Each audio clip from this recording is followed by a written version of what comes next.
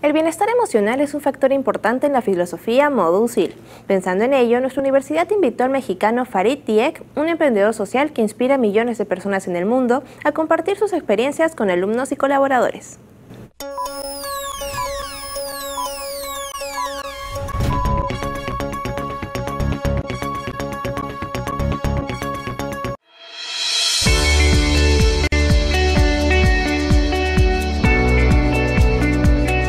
Sintonía con la filosofía Modusil, la Universidad San Ignacio de Loyola busca promover un estilo de vida saludable en alumnos, docentes y colaboradores.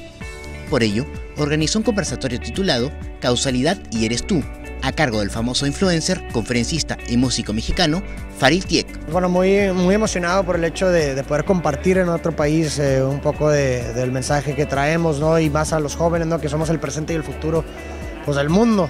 ¿Cómo nació esa idea de emprender, de realizar todos tus proyectos y empezar a hacer este tipo de charlas? Pues inicia a través de, de, querer crear valor sobre problemáticas sociales, ¿no? Los problemas son cosas que nos afectan a todos.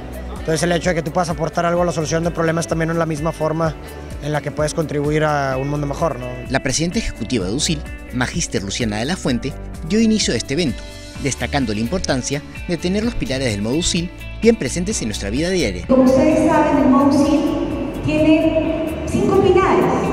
Comer sano, comer saludable, luego hacer actividad física, luego también conciencia plena, que tiene que ver con estar presentes, con sentir el vivir el día de hoy y no estar pegados en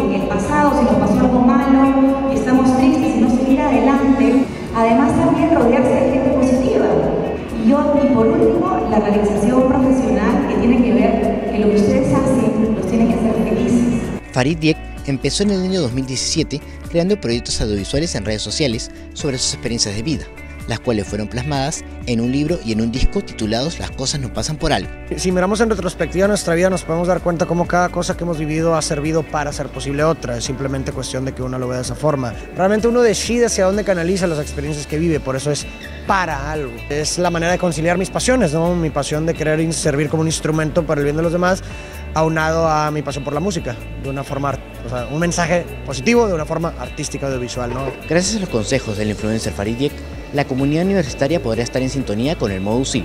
Con cámara de Sani Carrillo, informó Javier Reategui para UCI TV.